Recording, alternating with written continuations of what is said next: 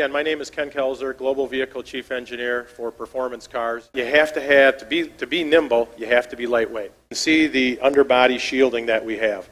This shielding was done, obviously, for aero, it was done for drag, as well as from an acoustic standpoint. So we, we paid attention to, even around suspension hardware, to make sure that uh, we had the correct airflow. You can see how this thing has a look to it also from a diffuser standpoint to get the right aero. You notice, there's no air dam in the front. So we were able to balance the airflow underneath the vehicle uh, without that. Rear wheel drive differential. What you see here, this is cast iron. And a lot of folks will say, why didn't you use aluminum? The reason we use cast iron is we want to balance fuel economy and performance as well as weight distribution. The goal was to have 50-50 weight distribution, so obviously it helped, but the primary purpose actually of doing this was because of the thermal expansion of cast iron is less than aluminum. And if you use aluminum, you have to have a higher uh, preload on the bearings, which in turn reduce the fuel economy, as well as this is better from a noise standpoint. You can also see we have bolted on the, uh, the drive shafts so that there isn't a spline taking up any slop so that it's an instantaneous connection with the, with the wheel. Uh, from a suspension. This, we're very proud of this. This is the first five-link application in a Cadillac.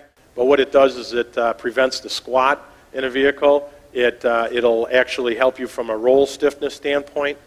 Uh, and from a design, hopefully you can see the, the links. Take a look at these links. We paid attention to the grams on this, not the kilograms. And we would lightweight a part, and then we would even put lightning holes in it. You can see from a load standpoint, for example, where the cradle comes through, and if you have the rear cradle attachment, and how that lines up straight across with the body rail.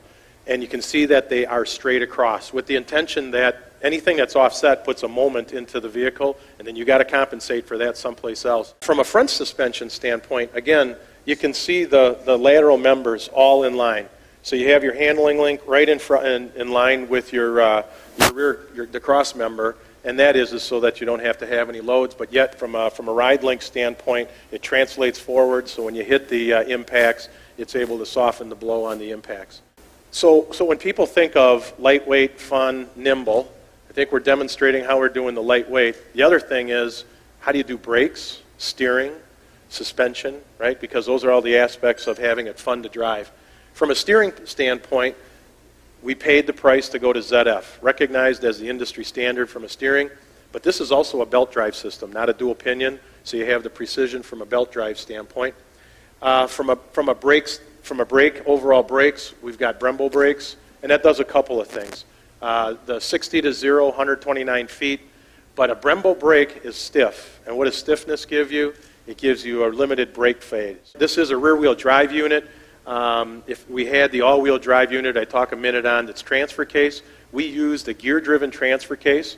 A lot in the industry are using chain.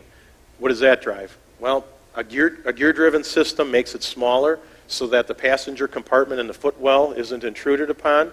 It reacts faster. It is a preemptive system, and at the end of the day, gives you stability control.